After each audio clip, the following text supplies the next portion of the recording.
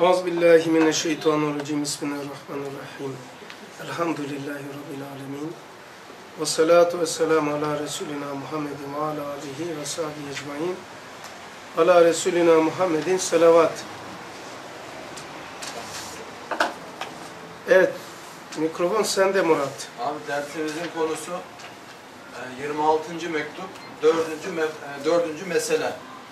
26. mektubun 4. mekasın 4. 4. meselesi Ceddüdü imaneküm bila ilahe illallah. İmanınızı e, la ilahe illallah ile yenileyiniz hadis-i şerifinin biz abi mahiyet sureti hakikatine. Mahiyet suret Mahiyet suret. Şimdi abi e, bu la ilahe illallah kelime-i tevhid demek. Önce ben abi bugünkü dersimizdeki konu başlıklarına yani bugün neyin üzerinde duracağız abi? Hı hı. Burada ne işleniyor yani bu dördüncü meselede ne işleniyor? E, Başlıklarımız bu imanı tecdit etmek. La ilahe illallah abi. Üstadımız burada dört başlık altında incelemiş abi. Burada. Evet bunun. Enfüsi manası. Afaki manası abi.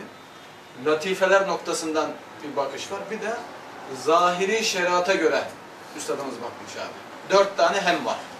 Hem hem hem hem deyince abi hem demek Risale-i Nur'da o mesele farklı bir bakış açısı abi. Yani farklı bir başlık yani bizim şey, yani farklı bir paragraf yani.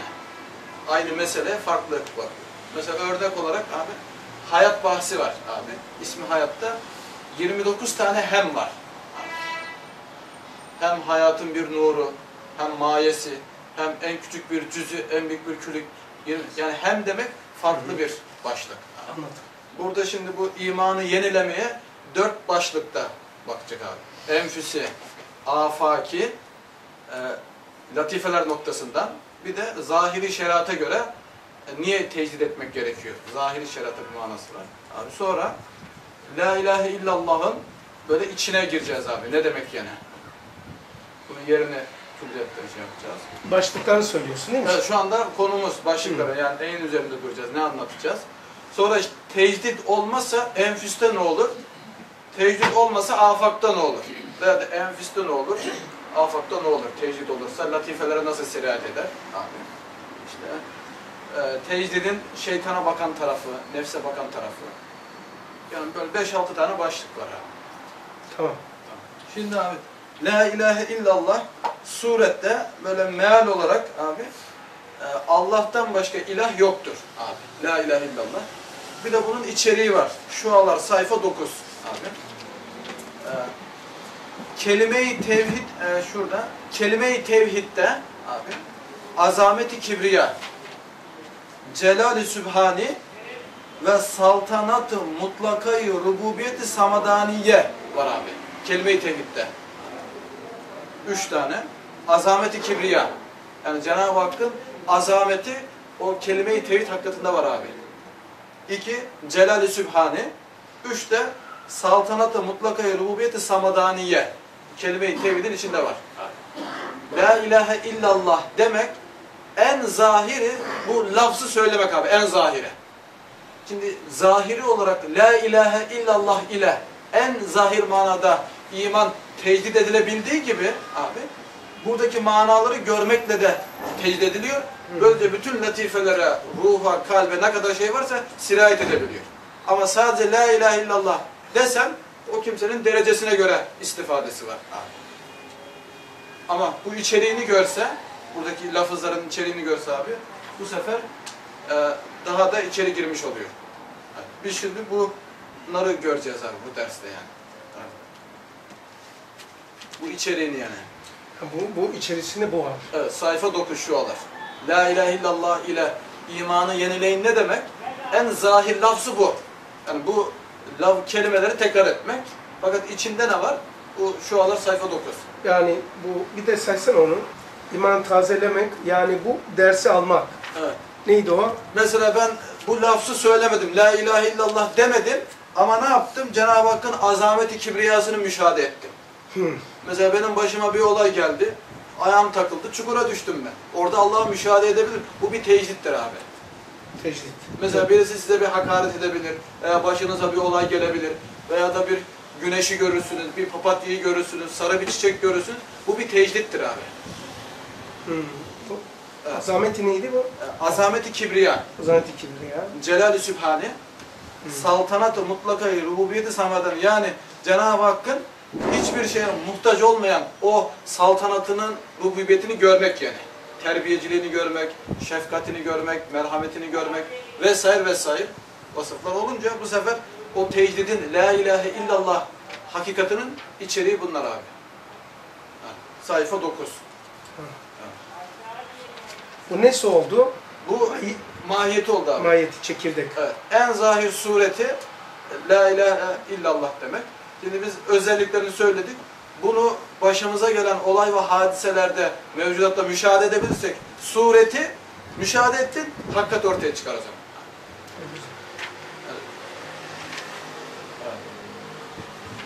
Ceddüde imaneküm bila ilahe illallah'ın hikmetini soruyorsunuz.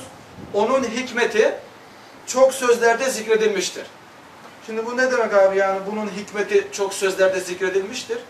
Mesela buna birkaç tane noktayı nazar abi. Bu ne demek yani? Mesela üstadımız bu hadisin abi en zahir manası bu asırda gözükmüş abi. Ve de bu asrın insanı en fazla bu hadise ihtiyaç duymuş yani. İmanı tecdid etmeye. Şu, onun hikmeti, bu hadisin hikmeti çok sözlerde zikredilmiş diyor abi. Mesela 40 vefiyattan bir ikisi kurtarmış öyle bir zaman. 124 bin peygamber, 124 milyon evliya Allahümme ecinemin fitneti ahir zaman demişler. Böyle dehşetli bir zaman. Bütün yani maneviyat noktasında ne kadar önder var. Peygamberler dahil. Muhammed Aleyhisselatü Vesselam'dan tut. Ta en ami bir evliya kadar bu zamandan Allah'a sığınmışlar abi. Hatta manevi meclis var ya abi. e, Böyle nasıl milletvekilleri bir araya geliyor, meşveret şura yapıyorlar. Manevi noktadan da her asrın mebusları toparlanıyorlar. Peygamber Efendimiz Aleyhisselatü Vesselam'ın başkanlığında alemi İslam'ın meselelerini konuşuyorlar. Bu asrın vekili de Üstad Hazretleri ona şöyle sesleniyorlar abi. Ey felaket ve helaket asrının adamı diye. Yani bu asrı, o maneviyat önderleri böyle tarif etmiş abi. İşte bu tecdidi imana en fazla bu asrın ihtiyacı var abi. Evet. Onun hikmeti çok sözlerde zikredilmiştir dedi. Bir sırrı hikmeti şudur ki. Şimdi abi bu sırrı da söyleyeyim. Sır ne demek böyle Risale'de? Çok çeşitli izahları var da benim gördüğüm bir izah abi. Ee, sır demek mesela Mesnevi Nuriye'de her şeyin dışına mülk denir, içine meleküt denir diyor abi. Mesela bilgisayarın donanımı mülktür, yazılımı meleküttür. İnsanın vücudu mülk, maneviyatı kalp ve ruhu meleküt. Mesela Risale'den örnek verirsek ölüm mülktür. Ölümün üzerindeki tebdili mekandır, tahvili vücuttur. İşte zahmetler memleketinden rahmetler memleketine gitmek, bu gibi vasıfları görmek, bu da meleküttür. Şimdi mülkten meleküte bakan adam ölümün sırrını anlıyor abi. Niye ölüyorum ben? Bu sefer sır ortaya çıkmış oluyor. Sır demek, mülkten meleküte bakmak demek. Bakabilirim. Mülkten meleküte bakınca abi o zaman o şeyin sırrını anlıyorsun. Mesela adam burada ölmüş, yatıyor. Ya bu adam niye öldü? İşte bu tebdili mekan, tahvili vücut gibi vasıflara bakarsan o zaman meleküte bakıyorsun, sırrını anlıyorsun o zaman. Hı. Şimdi üstadımız burada abi bunun lafzını değil de sırrını anlatacak. Yani bu hadisin melekütünü anlatacak abi. Hani niye tecide ihtiyaç var? Enfüste niye ihtiyaç var? Afakta niye ihtiyaç var? Gibi böyle bu meseleyi anlatıyor. İnsanın hem şahsı hem alemi her zaman teceddüt ettikleri için her zaman tecdid imana muhtaçtır diyor. Şimdi insanın hem şahsı değişiyor abi hem de alemi değişiyor. Hem şahsı demesi, insanın şahsı ne zaman değişir? Bu cesedi noktada abi anne karnına düştüğün andan bu zamana kadar veya vefat edene kadar Allah bizi değiştiriyor abi. Cesedimizi. Mesela bir insan hani bazıları abi işte yaşlanınca ibadet ederim şöyle diyor. Zaten o kimse yaşlı. Mesela 40 yaşındaki biri yaşlı. Niye? Daha küçüğü var. 30 yaşında insan var. 30 yaşındaki yaşlı, 20 yaşında adam var. 20 yaşındaki yaşlı. Çünkü daha ufaklar var ya abi. Yaşlılık nispi yani. Adama göre değişiyor. Hatta 5 yaşındaki bir insan da yaşlıdır abi. Niye? Daha ufağı var. Hatta anne karnına düşen bir insan daha yaşlıdır abi. Niye? Üstadımız işaret icazda bir noktayı nazar var abi. İnsan ne zaman ihtiyarlar? İnsanın şahsı ne zaman yaşlanmaya başlar?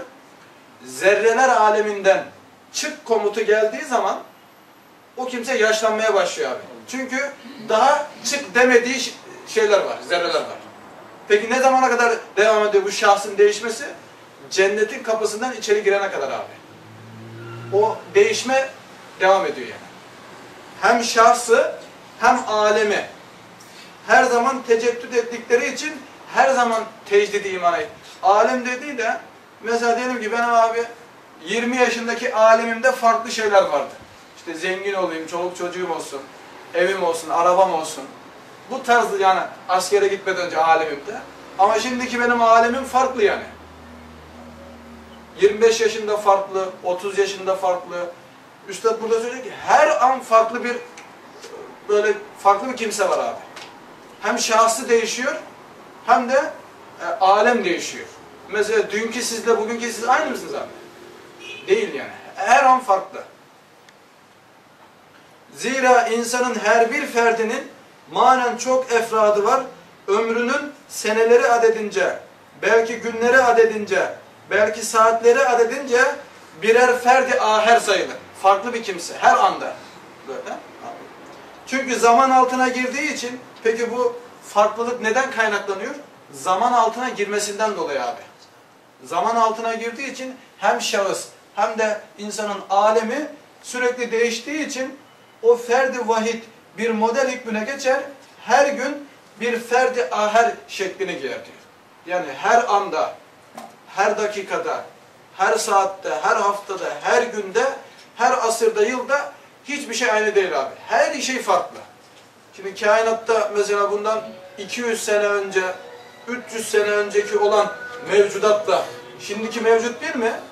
Maddi noktadan Cenab-ı Hak alemi, mevcudatı değiştirdiği gibi abi şahsı da değiştiriyor, şahısları da değiştiriyor, rejimleri de değiştiriyor, alemleri de hissiyat, her şeyi değiştiriyor. İşte o her şeyi değiştirince her şeyin hakikati olan kainatta en büyük hakikat olan imanın da değişip tecrid edilmesi gerekiyor abi. Eğer tecrid edilmezse, şimdi geleceğiz başlıklarımızda var öyle. Enfüste bu sefer lakaytlık oluyor, takvalı olamıyor insan. Tecrid edemezsen takvalı olamazsın. Lakayt olursun, medeniyet fantezilerine mağlup olma ihtimali var abi. Tecrid olmazsa. Abi. Şimdi burada insanın hem şahsı hem alemi dedi ya abi. Şimdi insanın bu şimdi konuştuğumuz abi bu enfüsü, enfüste yani insana şahsı ve alemi sürekli değişiyor. Şimdi Risale-i abi ikinci lemada içimizi dışımıza çevirsek diye bir ifade var. Yani insanın içiyle dışı bir değil abi. Bu Risale-i Nur'un genellerine baktığımız zaman suret ve siret olarak ifade edilmiş abi. Suret ayrıdır, siret ayrıdır. Suretiyle sireti en kemal manada bizzat vardır. Muhammed Aleyhisselatü Vesselam'dır. Mesela Birbirine yakın. ikisi de bir, içi dışı bir yani. Hatta ben Şafii ilmihalinde görmüştüm abi. Peygamberlerin sureti ve sireti bir olması vaciptir diyor abi. Mesela bizim ben suretim var bir de siretim ne oldu belli değil. Bir suret var bir de siret var abi. Peygambere bu vacipmiş. Hatta üstadımız tarif ederken çok güzel abi böyle 19. mektupta işte bak diyor. Cemal-i suret hüsnü siret ile mümtaz bir zatı göreceksin diyor. Yani ikisi de bir abi. İçi dışı bir yani. İşte peki içi dışı bir olmak bunun sebebi ne? Tecdid iman abi. Yani her anda Allah'ın azametini müşahede etmek, ilmini görmek, esmasını görmek, iradesini görmek, efendim, icraatlarını görmek, rububiyetini görmek, samadetini görmek, tecdid bu abi. Görünce bu sefer hem sureti hem sireti o kimsenin bir oluyor yani. Ama görmezse bu sefer sureti, surete insan gözünün gözükürken e, siret olarak başka bir e, mahluk olabilir. Mesela şey olur mesela diyelim ki sureti 34 yaşında. Evet abi. Öyle bir şey. Ama iman noktasında 16 yaşındaki iman seviyesi. Çocuk gibi.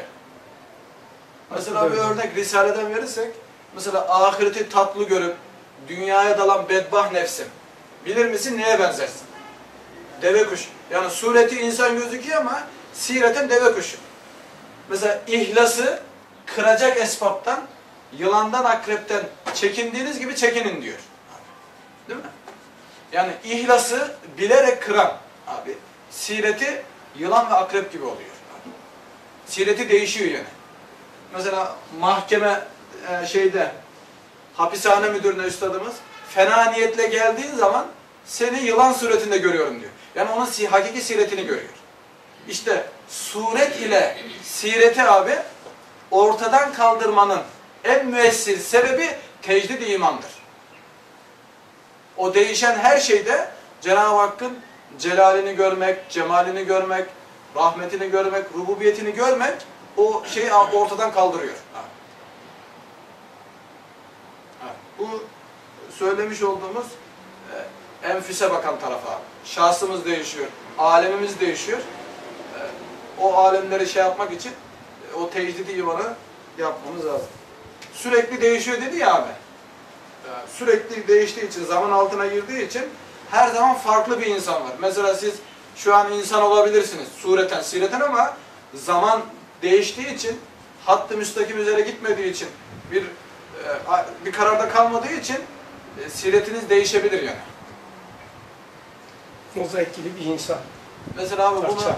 üstadımız cennet bahsinde anlatırken e, buradaki cemaat orada nebatat, buradaki nebatat orada insanlar gibi olacak diyor.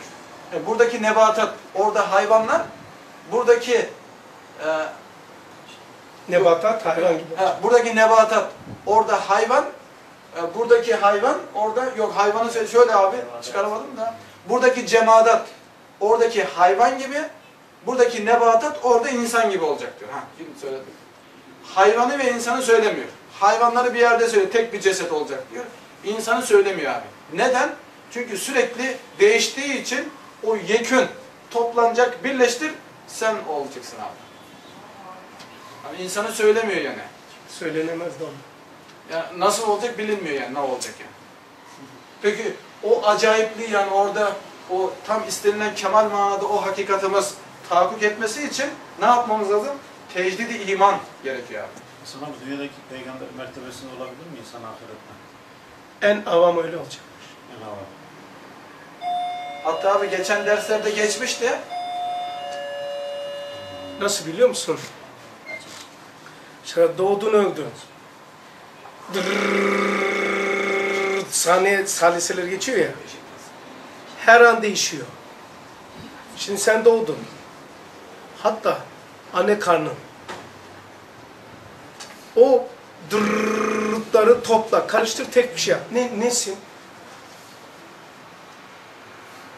Peygamber ise burada gene bir ve aynı görüyorduk yani. Onun için insan cennetteki şey bilinemiyor. Ancak Allah'ın ilmindeymiş. Peygamber kıyas yapıyor. Siz diyor buradaki camidat var ya taş toprak. Nasıl olacak? Orada ne demektir yani? Orada taş toprak olmayacak. Siz burada bildiğiniz hayvanlar var ya. Hani hayvanlar derken cesedi kastetmiyor. Hani Ceset aynı. yani ruhundan bahsediyor. Mesela bir e, koyunun, mesela diyelim ki benim kınalı vardı, çocukken söylüyorum, 5-6 yaşındayken, otlatırken.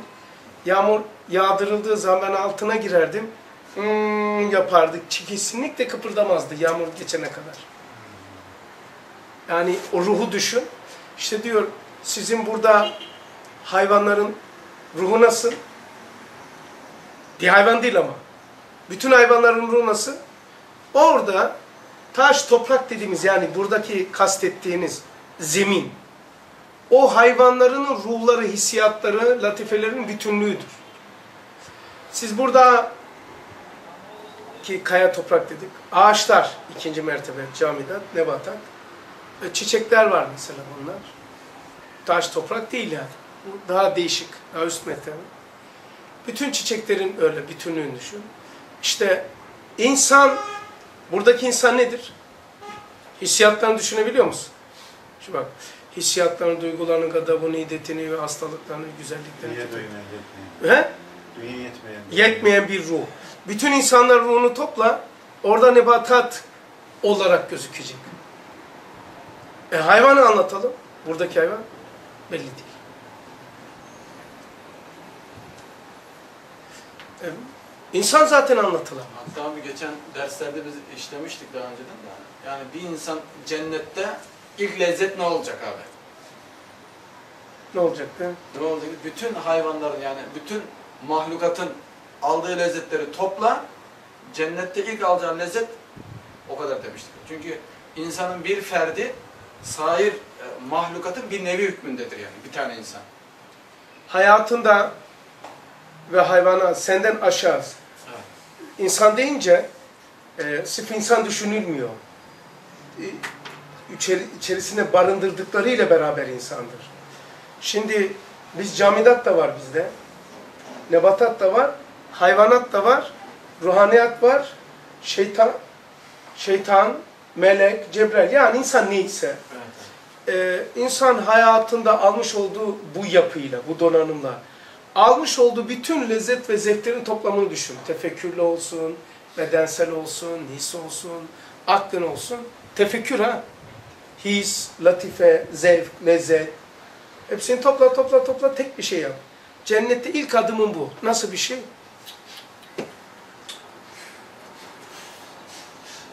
E, Cehennem de böyle işte. Mesela Evet abi. O şeytanın, hayvanların, yani her çeşit ne kadar elem var. Tırnağı kesilmiş, tırnağın çarpmış. Çocuk kız, çocuk yetim.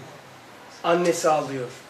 Yani bizim hissettiklerimiz. Yani insanın taşı- taşımış olduğu Elemin bütün nevi değil mi? Elem ve e, şeyin, e, elem ve zarar. iki şey deniyor. Tümünü topla, o ilk paket olacak ilk adım, cehennemdeki ilk adım. İkincisi birincisiyle hiç alakası yok. Cennet de böyle. Birincisiyle ikincisi hiç alakası yok. Üç, iki ile hiç alakası Hiç ama. O yüzden bıkkınlık olmayacak diyor. İşte öyle. Mesela abi biz şimdi üstadımız o 28. sözde geçti ya abi. Ee, e, cemadatı ve nebatatı söylüyor. Hayvan ve insanlar olacak cennette. İnsanı söylemiyor. Abi. Niye söylemiyor? Yani bu şey niye olmayacak? Ee, çünkü abi hani dedik ya bütün her şeyin toplamı o aldığın lezzet orada ilk adım olacak. İlk başlangıç yani tatmak olacak. Mesela ki yüzlük elek ampul var abi. Şimdi bu yüzlük ampule sen 500'lük elektrik verirsen ne olur? 500 bin voltunu şey yaparsan değil lampun bina uçar yani. Şimdi bu cesede de o kadar şeyi yüklesen abi Patlar. bu sefer olmaz. O zaman farklı bir tasfiye ameliyatından geçme. Kadınlar da öyle abi. Farklı bir tasfiye ameliyatından geçmese kaldıramaz yani. Mesela bu mideyle, bu ayakla, o sonsuz nimet şeyden nasıl istifade edecek yani? Hiç kimse. Çünkü bu ona müsait değil. Onun için e, bazıları ölmüş yani. Tefekkürlerden var. Duydunuz mu? He, taşınan enerji boyutu koridor kaldıramamış. Ceset kaldıramaz. Kaldıramamış. E, çünkü nasıl açılmışsa ama Allah Resulü nasıl olmuş? Cesediyle ruhu devamlı aynı antrenmanlığı yapmış.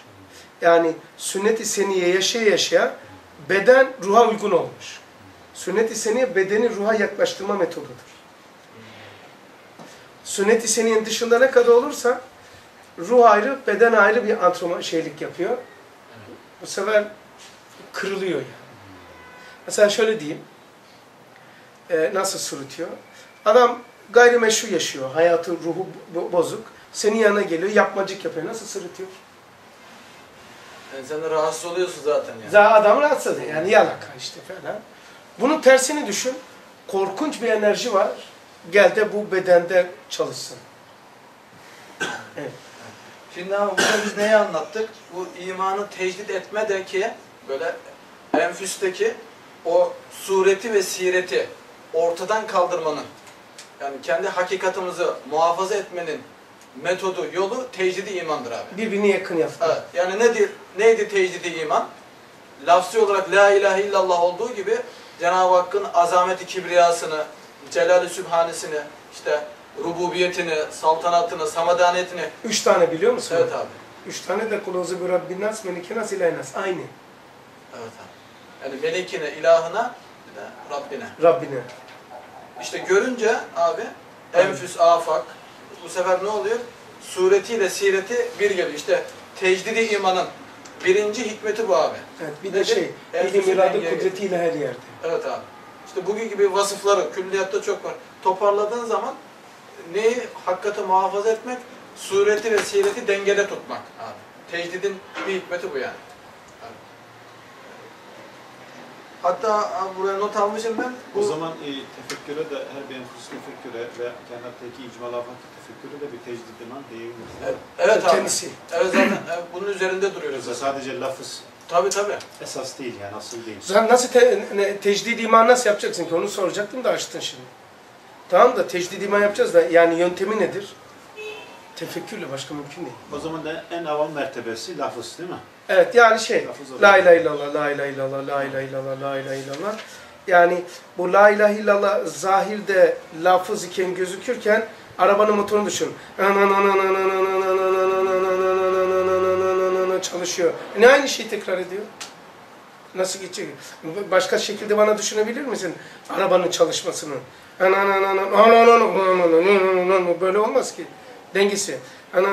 Aynı şeyi tekrar. İşte arabanın neler oluyor? Hayal et.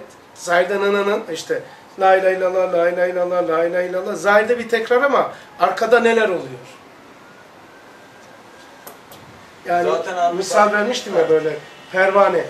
Aşağı yukarı, aşağı yukarı, aşağı yukarı böyle pervane. O elde ettiği en aynı şey. Aşağı yukarı, aşağı yukarı. Elde ettiği enerjiyle İstanbul'un kaç tane cihazını çalıştırıyor? Zahirde aşağı yukarı, aşağı yukarı. La ilahe illallah, la ilahe illallah, la ilahe illallah, la ilahe illallah, la ilahe illallah, la ilahe illallah, la ilahe illallah, la ilahe illallah. Ve arabada neler oluyor ama arabada. Zaten o başta Mustafa abi senin sorun cevabı. Başta zaten onu biz okuduk abi. Şu alar sayfa 9. Yani konumuz dedik. La ilahe illallah'ın mahiyet, suret, hakikati. İşte içeriğine girmiştik. Sayfa 9. Bir de tekrar ediyorum. Kelime-i tevhid ne demekti? Azameti kibriya, celal-i sübhani ve saltanat-ı mutlakayı rububiyeti samadaniye. Bu üçü olunca abi kelime-i tevhidin içi. Ama şeyi de e, unutmamak lazım ha. E, zikir var ya zikir. Evet abi. Mesela Kur'an okumak. En, en kaliteli zikir namazdır. Evet abi. E, yani bütün ibadetler zikirdir. Ama zahirde zikir, namaz, şey, Kur'an okumak veya bizim halkın bildiği gibi Subhanallah, Subhanallah. O da en düşük tecdid imandır. En zirvesi tefekkürdür. İşte Tefekkürün saati hayrı. Başımıza gelen Subhanallah dediniz de Evet yani burada da şimdi bir insan Subhanallah demese Cenab-ı Hakk'ı tenzih etmesi var lisan alsa zahiren. Bir de e, Kadir Esas diyor ki kainatı ve nefsini Allah'a bir şerde insan kendi merciyetini kabul edip kusuru derutde ederse Rabbini takdis eder. diyor. Evet. Çok ilginç.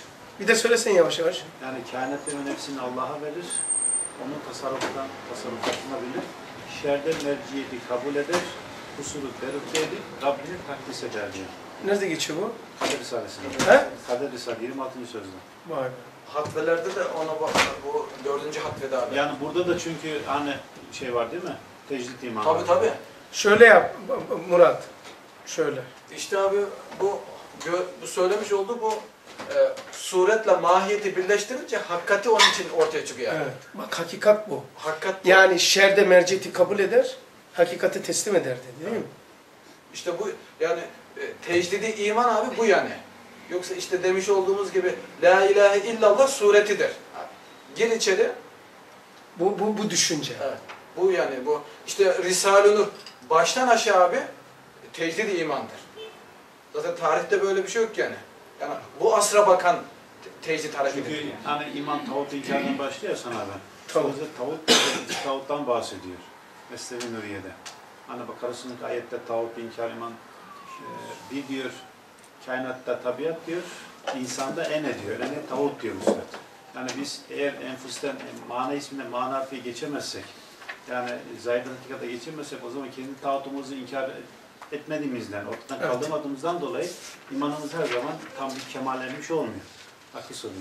Bir de bunu çok zikretmemi söylediler. Ee, bu bir ademi mana var her şeyde. Bir de vücudi mana var. Evet. Enenin ademi manası bu. Vücudu manası ise her şeyin arkası. Yani Adem'le vücut iki zıttırlar. Unutmayın bunu. Yani ne kadar mesafe var? Sonsuz. Yani her bir vücut Adem, Ademi vücutla olur. Yani Ademi vücut vücut değil. Olmaz zaten. Adem'le vücut iki zıttırlar. Evet. Tamam mı? Ademsiz vücut yoktur. Mümkün değil. Her şeyin ademi var. Meculun bile ademi var. Ademsiz olmaz. Mümkün değil. Tamam mı? Şimdi enaniyetin ademi vücut gurur kibirdir. Enaniyetin vücudu manası ise haritadır, ruznamedir, takvimdir diyor. Enenin ademi vücut ise benliktir, gururdur, kibirdir, alettir. Ademi. Vücudu manası ise meculun bizdeki karşılığıdır ki vücudu haricisi olmayan, ben olan ben, her şeye sahip çıkan ruhun arkasındaki. Benim gömleğim, benim atletim, benim hayatım, benim ruhum, ben olan ben. Bunu tefrik edemezsen çözemezsin bunu. De bunu tefrik edemedim abi. Hani vücudunda adem, ademinde vücut, Vücut var. olur. Bunu da anlayamaz yani. Anlayamaz. Bu sefer ne oldu biliyor musun? Ee, şeyde sormuşlar. Sorularla İslam etme orada da var galiba. Onu bana gönderdikleri için biliyorum. Doktor hanım gönderdi. E, ve bir sürü. Abi sen böyle diyorsun ama yani ene baksana bu bir alettir diye salih gösteriyor. Doğru mu? Doğru onlar da o. Yani unutmayın. e, her şey ama Allah'ın dışında her şey mecul dahi vücut Adem'le beraberdir.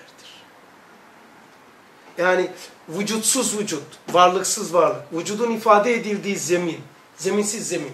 Nasıl diyeyim işte? Adem işte. Ademsiz vücut yoktur. Aynı yerdedir. Tesbih şeyler diyor Üstad Mesnevi'de, 13 şeyde, e, 13. lemada Ade- Adem'dir diyor. Adem'dir. Tesbih olan şey. Mesela günahlar da Adem mesela. Şey, şeytan da vücudu Adem'e dönüştürmeye uğraşır. Hiçlik midir? Evet. Ama her şey ama, ne olur bunu, her şey, e, Ademsiz vücut yoktur. Sevap da öyledir. İman da öyledir.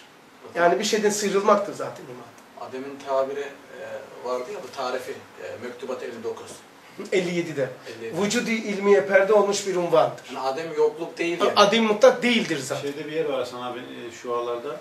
Adem alemleri Subhanallah Subhanallah. İşte şu şey evet. Onu subhanallah yokluktan. Niye şey yapmaya çalışıyorum biliyor musun? Buraya niye girdi? Ne alakası var? Ee, arkadaşlar külliyatı şahsi hukuk, umumi hukuk. Am, hassa. Ee, ondan sonra e, şey geçiyor. Başka ne hatırıma geliyor? Böyle sıralardık ya. Örfi, şer'i. Yani manalar gibi. Bu ademi ve vücudi. Bilmezsen burada da hata yaparsın. Yani bu hata yapılıyor. Ee, mesela bir alettir diyor. Doğru. Akıla da bir alettir. Ama öteki tarafta onun gibi bir cevher yaratmadım diyor. Tamam? Sufli bir şey. Ha, demek ki e, her şey Adem'le vücut beraberdirler. Aynı yerde bulunurlar. Adem vücud ilmiye perde olmuş bir ünvandır. Mektubat 57'de. Tamam O zaman niye bunu giriyorum? Bu da bilinmesi lazım. Mesela sen ene diyor.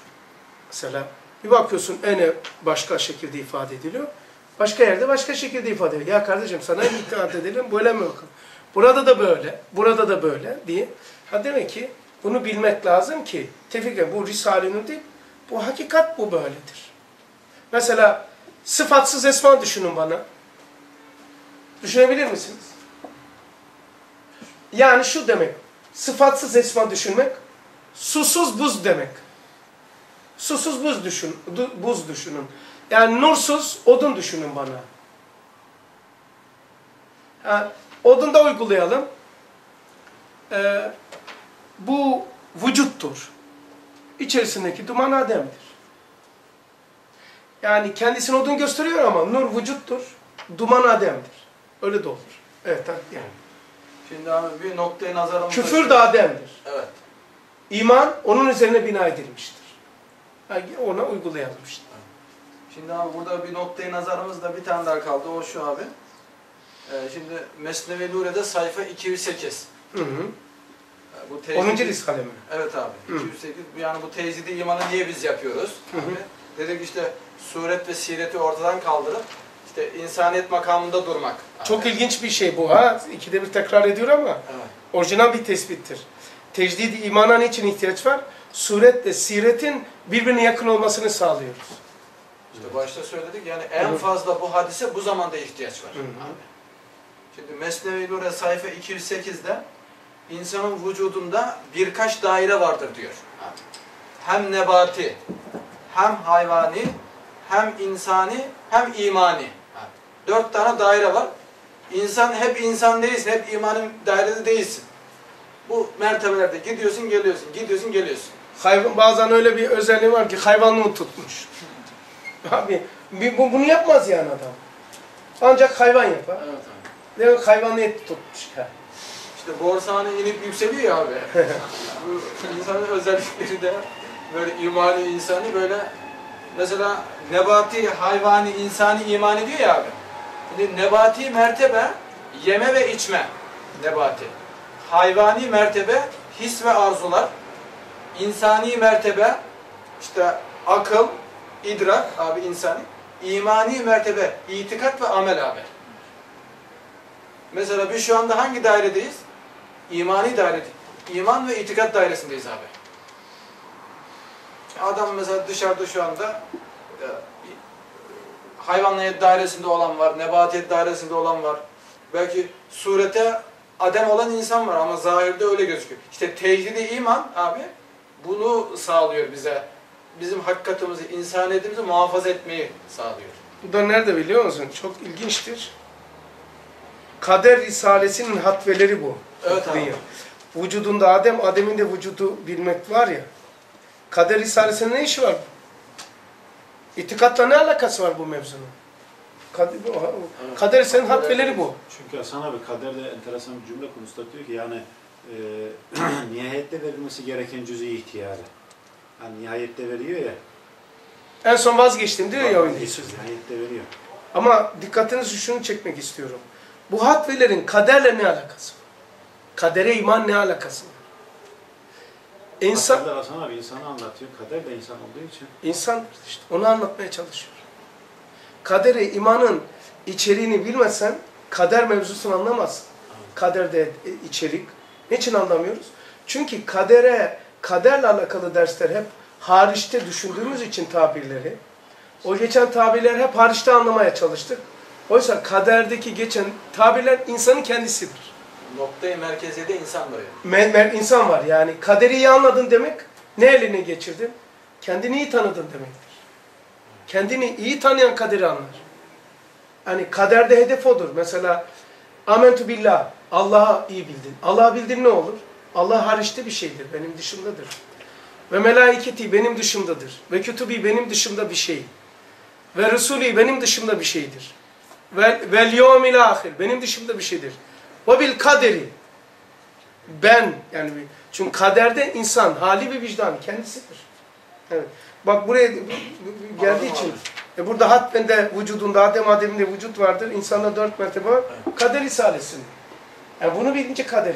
Yani kader Risalesi'ndeki tabirleri e, kader hariçte düşünürsen, öyle ararsan Abi Adem'in vücudun bir mertebesidir desek yanlış demiş vücudun mertebesi diyemeyiz de. Zemini. Zeminsiz zemin. Zeminsiz de, zemin dersek de mahluk olacak. Hani vücud ilmiye ilim bile mahluk değil. Ama vücud ilmi diyor abi. Vücud ilmiye Perde- perde olmuş. ama. Perde olmuş bir ünvandır diyor. Yani vücud ilmi demiyor ona. Ama istidada ilmi vücut diyor. Yani ilmi vücut diyor, ortaya çıkmış hali. Mesela şöyle diyeyim, Adem daire ilimde değil mi abi? daire ilimde. O zaman e, işte ilmi bir vücut olması lazım değil mi abi? Yani ilmi vücut da doğru diyorsun orada ama yani vücutsuz vücut, yani varlıksız varlık, yani ilmin bile ifade edildiği zemin. Yani Artık bu abi sizin noktayı nazarınız lügati olarak bakıyor abi. He. Yani ben şahsen öyle anladım. daire ilimde yani makam anladım onu. Şeceri hilkattaki yerin şey yapıyor. Evet abi. Yani daire ilimdedir. Ama daire ilim oraya konmasının sebebi daire ilmin ifade edildiği zemin. Nasıl koyacak böyle? Koyduk oraya ama yani mekansız mekan. Şöyle diyor. Şimdi buraya bak, bakarsa duvar. Buraya film yansıtalım. Hiç kimse duvarı görmez. Ama film burada gözüküyor. Gözükmesine sebep. Yani kimse, herkes buraya baktığı halde kimse görmemiştir duvarı. Yani ilmin, her şeyin, vücudun ifade edildiği mekansız mekan. Nasıl bir şeyse. Yani sadece vahiylik kıyası görevini yapıyor. Yani öyle bir şey yani böyle bir tuhaf. Nasıl anlaşılır? Bunu niçin tabir edemiyoruz? Enfusi dersleri tabirler edebiliyoruz. Bu enfusun enfusisi. Dün bir ders vardı. Gaybın gaybı. Enfusinin enfusisi. Enfusinin enfusi tabir edilebilir. İzah edilebilir. Anlatılabilir. Tanımlanabilir. Ama enfusun enfusisini tabir edilemez, izah edilemez, anlatılamaz. Ancak mülkte değil gene enfus izah edersin. Yani Adem oraya konmuş, e, daire ilmin ifade edildiği yani. Nasıl bir şeyse. İmam-ı Rabbani Hazretleri, İmam-ı Rabbani Hazretleri yapan en büyük e, tespitlerinden bir tanesi budur. Bana göre budur. Çok ilginç. İki kişi duruyor bunun üzerine. Onlar usta. Yani Adem beni en çok meşgul edenlerden bir tanesidir. O Adem'in daha arkası e nedir? İşte bu arkanın arkası işte. Yani enfusi değil yani bu dersler. Mesela hatveler enfusidir. Kader sensin ki mesela kaderin ilk, ilk başta ilk şeyi ilmidir. Hatveler ilim değildir, enfusidir. Ama enfusi ilim diyelim. Ama en iyisi Ademidir. Adem'in de arkasıdır. Adem de değil canım haşa. Bir tuhaf. Yani enfusun enfusisi. Mesela o zaman ne olur biliyor musun dünkü dersin şeyi? Şimdi böyle benim gömleğim, benim atletim, benim hayatım, başka bir şey anlatacağım. Benim ruhum, tamam mahluk bitti. Ruh yani daha insanlar kulu ruhu min emri rabbi. Onun hakkında bile bilgi yok. O yani gere, diğerleri kadar yok. Var da. Şimdi bunun arkasına geçip ruhtakileri ve hayattakileri seyrediyorsun. Allah'ın icraatını seyrediyorsun ama. Öyle bir ene demek ki, öyle bir makam ki Allah'ın sendeki tasarrufatını seyrediyorsun. Allah'ın seyrettiği yerde gibi sanki tövbe. Yani onun seyrettiği gibi seyrediyor. Yani Allah'ın tasarrufatını şahitsin böyle. Ne bileyim böyle. Ruh buralar. e, benim cesedim, benim hayatım, benim aklım, benim ruhum bitti. Bunun arkasına geçtin. Allah icraat yapıyor buralara.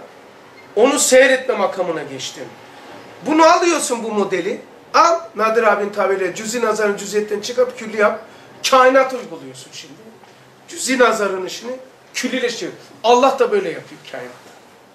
Yani sen ne zaman anlarsın ki Allah'ın tasarrufatını? Sen ne zaman ruhun arkasına geçip de ruhun tasarrufatını seyrederken Allah'ın tasarrufatıdır. Böyle seyrediyorsun.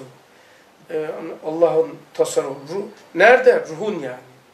Ondan sonra bunu alıyorsun aynısı tıpatıp. Sen o ne yerin haşa, haşa. Zatı koyuyorsun. Ruh denilen şeceri hakikat koyuyorsun. Onun arkasına Allah nasıl icraat ediyorsa sanki esma makamı zat değil. Allah'lık o makamına en azamı derecede mazar oluyorsun. Bismillahirrahmanirrahim'deki Allah. Bismillahirrahmanirrahim'deki Rahman ve Rahim'e en azam derecede mazar olmak Allah ismine de mazar olunuyor. Çünkü niye? İnsan en camidir. Allah ismine en cami. Çünkü Allah ismi cemedendir, toplayandır. Bütün isimler oradadır. İnsanda da en çok Allah ismi insanda gözüküyor. Çünkü bütün mahlukatı, bütün esmayı cemedendir. Or oraya kadar geldik. Tamam. Ondan sonra tefekkürü. Şimdi geliyorsun ama bazıları bağnaz olanlar var. Bunu serişte edecekler, kullanacaklar bana. Ne demek istiyorsun? Lehül esmaül hüsnayı bilseydin anlardın. Bütün güzel isimler Allah'ındır. İsim Allah değildir. Esmanın kaynağı, o Allah'ın kaynağı nedir? O Allah bile kaynağı sıfattır. Sıfatın kaynağı şunattır. Onun kaynağı da mahiyet-i zatidir. O benim anlamayan o kardeşime diyorum ki senin kastettiğin Allah bu Allah değil. Mahiyet-i zatiyedir. Onda konuşulmaz. O ne bilmiyoruz. Hiç kimse de bilmeyecek. O olmaz yani. Biz konuştuğumuz Allah, esmadaki Allah. Onun hakkında konuşuyor. Diye bilmiyoruz. Şimdi abi bu bu Adem meselesi konumuzda şey var ama fakat çok şey olduğu için bir noktayı nazar da abi verin de hemen Tamam. döneceğiz konuya. Tamam. Sayfa 78. Neyin? Ee, bu Adem. Neyin mi Onu etkisi? Adem'i sordu ya abi. Şey, Lemalar. lemalar. El Ademu la yuthbet kaidesiyle bak çok enteresan abi. Adem'in ispatı elbette kolay değildir. Yani mümkün ama kolay değil. Bak Ben şimdi buna bir örnek vereceğim abi. Yani. Bak Adem'in ispatı elbette kolay değil ama buna bir anlaşılması bir misal. Bunu kolaylamak için abi. Şimdi mesela ismi Cenab-ı Hakk'ın isimleri kainatta tecelli ediyor ya abi. Tecelli ediyor. Ee, mesela güneşten hani foton çıkıyor abi. Fotonun o gözükmesi için eşyaya çarpması gerekiyor. Eşyaya çarpmayınca foton var mı yok mu bilmiyorsun. Şimdi Esma-i Hüsna'da kainatta kuvve olarak tecelli ediyor ya abi. Kuvvet enerji alır. O eşyaya çarpınca, insanın hissiyatına, duygularına, şeylerine çarpınca abi bu sefer zemin oluyor, o isim gözüküyor abi. Yani isimlerin gözükebilmesi için zemin lazım ya abi. O zemin sıfattır unutmayın. Ha. Peki Cenab-ı Hakk'ın ismi azamı var. Abi. İsmi azamın tecelli etmesi için zemin abi insanın hiçliğini bilmesidir. İnsan hiçliğini bilince ismi azam tecelli eder. Peki hiçliği anlat bakayım. Nasıl anlatacağım ben şimdi hiçliği? Anlattığın anda hiçlik değil işte, Hiçlik vücuttur. değil, Vücut oluyor. Yani Adem'i zor bir şey yani. Z- Dedi zaten. Kolay Kolay değil. Adem'in ispatı elbette kolay değildir diyor. Yani Allah'ın e, küfrün olmadığını bak ne kadar sayfa anlatmış yani. Acayip bir şey. Mustafa'nın çok güzel bir tespit, tespiti var. Diyor ki, e, soru sormuştum. E, Adem, insan hiçliğini nasıl bilir? Eylem. Ben biraz şeyim ya. Tamam, e, hedefleri söyledik mesela ama yöntemi olması lazım. Ben buna nasıl ulaşacağım? O benim bir de e, şeyim, zevkimdir, hobimdir veya işte arzumdur. Hangi yöntemle ben ona varacağım? Hani Adem e, mert- mer- mertebesiz mertebesine nasıl varacağım? Mustafa şöyle demişti. Kendini yaşamazsan yani kendini yaşamamak demek sünneti. Kendini yaşarsan sünneti yaşamıyorsun demektir. Sünneti yaşarsan kendini yaşamıyorsun. Kendini yaşamayan Adem'e varır. Hiç yani. Evet. Çünkü sünnette sen yoksun. Sünnette sen yoksun peygamber var. Ben yaşamıyorum ki. Her Başkası. Bir, her bir sünnete adabından başlar. Her bir sünnet olan mugayir halimiz Vücut rengine bir, bir mustakiliyetimizdir yani. Mustakiliyettir. Tak yakalamak gerekiyor. Abi ben şimdi bizim konumuzda bu mesele var abi. Ona şimdi geleceğiz. Hadi Üçüncü gel. başlığımızda. E hadi tamam. Tamam. Şimdi biz Biz sabrediyoruz. kaldığımız yere ha, bu Bu, dersin hakimiyeti sana ait. Tamam Biz abi. sabrediyoruz. Araya giriyoruz kusura bakma. bu enfüste konuştuk abi. Noktaya nazarları verdik. Şimdi afaka geliyor. Hmm. Hem diyor hem neydi? Farklı bir bakış Evet. açısıydı. İki nokta üst üste demek. Evet. Hem insanda bu teaddüt ve teceddüt, yenilenme, değişim, dönüşüm olduğu gibi tavattun ettiği alem dahi seyyardır. O gider başkası yerine gelir, daima tenevve ediyor, her gün başka bir alem kapısını açıyor. İman ise yani o tecridi yapmak ise hem şahıstaki her ferdin nuru hayatıdır, hem girdiği alemin ziyasıdır. La ilahe illallah ise o nuru açar bir anahtardır. Yani insanın enfüs, şahıs, alemler değiştiği gibi kainattaki alemi de değiştiriyor Cenab-ı Hak. Sürekli değiştiriyor. İsmi fert tecelli ediyor ya abi. Tecelli ettiği için hiçbir şey kararında kalmıyor. Her şey değişiyor. Çünkü bir şey değişmese, aynı kalsa bu sefer abes olur, gereksiz olur. E, Cenab-ı Hak'ta külli manada rububiyet, e, saltanat tecellisi var kainatta. Aynı bir şey yok. Gereksiz olur, hikmetli olur. O yüzden diyor Allah Celle Celaluhu böyle afaki de değiştirdiği için afaki alemin nurlanması için de tecdidi imana ihtiyaç vardır. İşte o tecdidi iman afaki aleme lamba olur diyor abi. Mesela buna bir örnek vereyim ben abi çevremden. Şimdi diyelim ki bu elimde bir telefon var. Şimdi dışarısı karanlık abi. Ben fotoğraf çektim. Bunun flaşı patlamasa ne olur? Siyah. karanlık olarak şey. Burada bir şey gözükmez. Yani aynen bu misal gibi abi. Göz bir hassedir. Ruh bu alemi bu pencereyle seyreder. Görüntüler abi, fotoğraflar sürekli geliyor. karanlık olarak kaydedilmemesi için afaki alemden gelen iman flaşının patlatılması gerekiyor ki abi yani o tecridin yapılması gerekiyor. Yapmasam yani karanlık olarak kaydediliyor abi. İşte tecdidi iman o başta enfüsü nurlandırdığı gibi afaki alemin de ziyasıdır. Nur hayat yani iman hayatının hayatı hem nuru hem esası diyor. İman olmayınca her şey karanlık yani. Mesela gözü olmayan adam, üstadımızın örneği abi. Gözü yok, kulağı yok, tad alma duygusu yok, his alma duygusu yok. Bu adam için hiçbir şey yok diyor yani. İmansa da böyledir diyor abi. İmansa da hiçbir şey yok yani. Hatta imansızın abi küfrü anlatırken mesela bir adam bu e, Mesnevi Nuriye'de geçiyor. Ona bir atayım abi. Çok ehemmiyetli bir cümle abi. Sayfa kaç? Sayfasına bakayım.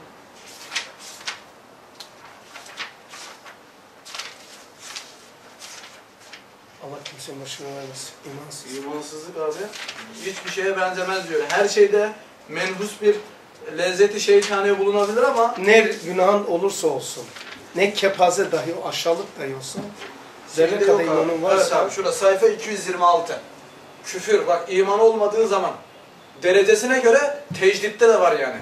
Zaten bir başlığımız oydu. Tecdidi imanı insan yapmazsa ne olur? Abi medeniyet fantaziyeleri o kimsede ağır basar. Bir, o kimse takvalı olamaz. İki, abi mağlup oluyor yani. Şimdi bunun imanın tersi küfür ya abi. İman e, kainattaki en büyük hakikat, en kötü şey de bir insanın küfre düşüp küfür üzere ölmesi. Abi. Şimdi üstadımız diyor ki, e, cehennemi cismani arif olan mümin için asiye kafirin cehennemi manevisine nispeten cennet gibidir diyor abi. Yani bu üstadın ilmi bir kere ilmi bir keşiftir bu. Yani ne demek bu? Bir tane kafir düşünelim. Bir de bir insan e, cehenneme gitti abi. Diyor ki- Müslüman. Müslüman yani. Cehenneme Diyelim ki günah fazla, günah fazla. Yüzde 51 günahı var. Yüzde 49 hasenesi var. Yüzde bir cezasını çekecek cehennemde. Müslüman gitti. Ondan sonra gelecek. Yani Müslüman cehennemde diyelim birisi mümin diyor abi. Bu dünyada da bir tane kafir var. Şimdi üstadımız diyor ki cehennemi cismani arif olan mümin için asiye kafirin cehennemi manevisine nispeten cennet gibidir. Yani adam şimdi cehennemde yanıyor ya. Burada ise bir kafir var. O cehennemde yanıyor ama onun o cehennemde yanması buradaki kafirin alemine göre, duygularına göre cennet gibidir diyor. Adam burada daha kötü yanıyor diyor. Ama Müslümanlar e, cehennem anlayışını da tahsiye etmesi lazım. Çünkü Ku- Kur'an'da Adam burada daha yanıyor. daha beter yanıyor. Ama cehennem, e, cehenneme e, kafirler ve münafıklar girmeyecek. Evet. Cehenneme girmeyecek. Ama sonradan e, bütüne merhameten denmiş cehennem. Çünkü cehennemin yedi tabakasının birincisinin adı cehennemdir. Merhameten cehennem denmiş. Ve oraya sırf müst- iman edenlerin günahkarları girecek. Münafıklar giremez. Münafık yedinci tabakaya gidecek. Veyn cehennem. Veyn. Kur'an-ı Kerim'de Sakara girecek mesela. Gayya var. Hutama var. Hutamem var, tamam? Yedi tane isim var. Müslümanların günahkarların girdiği makamdır o. Oraya münafık giremez, kafir de giremez. Onlar cehennem- daha dipte. Hepsinin cehennemden. Hepsinin cemen denmesinin sebebi diyor, 25. sözde de var böyle. Hani var ya böyle Allah azabı az göstermek için ve leyn mesatun nefetu min azabı rabbik. Hepsi her şey o konuda şey yapıyor. Merhameten en düşük makamı olan cehennemin tümüne şamil edilmiş. Onun için cehennemde vücudum o kadar büyüsün ki Müslümana yer kalmasın diyor. Hani örfte öyle biliniyor abi. E tabi. Örften ama tavsiye ediyoruz tabi. Veya tavsiye yani bizdeki anlayış. Yani yoksa Allah'a isyan etmiş, Allah düşmanlarına e, Allah koyacak. Ben haşa ben daha merhametliyim. E, haşa bu Bekir'in sözü. Allah koyuyor ama ben koymak istemiyorum manasına geliyor. Hayır. Orada Müslümanlara şefkatinden birinci tabakayı kastediyor. Yo- Yoksa s- Saki Yoksa değil. öyle kafiri Yok. zalimleri değil. Ca- zalim İslam düşmanı, namus düşmanı, vatan düşmanı hainleri değil yani. Sakar var, Veil var, Evet. Hutama var, Evet. e, Onlar, var. evet, onlar kastetmiyor. Onun adı var zaten. Cehennem. Ha bunu bir kitap okuyan bilir ya. Hani asıl kitap okumadığı için bilmiyor. Hani ama e, tümüne teşbih edilmiş. Evet. Yani daha çok merhameten Allah yani cehennem tabiri kullanılmış. Çünkü Kur'an birinci derece Mustafa, Mustafa e, müminlere hitap ediyor Kur'an. Müslümanlara hitap ettiği için cehennem tabirini kullanıyor. Müslümanların yeri yani günahkarların gideceği yeri hutame değil, veil değil. Kur'an'ı inkar eden bir adam var, onu diyor ki Sakar'a atacağım diyor Cenab-ı Hak. Evet. Yani bu bina gibi diyemez miyiz? Mesela beş katlı bina var. Birinci kat mescit, Ha öyle. ikinci kat Ha işte öyle. yemekhane, üçüncü kat Ha tabii ama hiçbirisi böyle olmadığını da düşün. Hani kat kat düşüneceğiz ama öyle değil. Çünkü cennet ve cehennem hakkında neyi hayal ediyorsanız hiçbirisi değil. Böyle bir şey olamaz.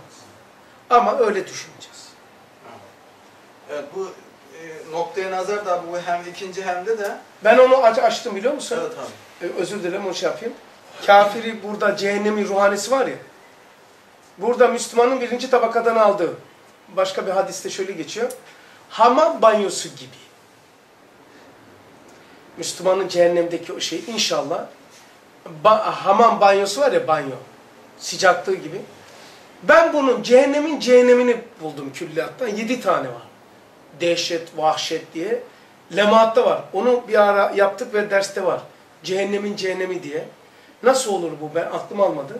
Yedi tane o cehennemin cehennemini yapan, kafirin bu dünyada cehennemini teşkil eden o yedi sıfat ruhunda yaşayanı ders yaptık. Lemaat'ta geçiyor o. cehennemde beterdir der bu sıfatlar. O yakıyor işte. O cehennemin cehennemi diye ders var orada. Evet abi. Şimdi abi enfüsü, afakı söyledik. Hı hı. İşte afakta da e, tecdidi iman olmazsa afak o kimse için karanlıklı olur. Ama tecdidi iman olsa bu sefer ne oluyor? O tecdidi imanı bir ziyadır diyor. Onun o afakini, vücuda gelen o Taşıyan. görüntüleri, şeyleri bu sefer aydınlık yapıyor.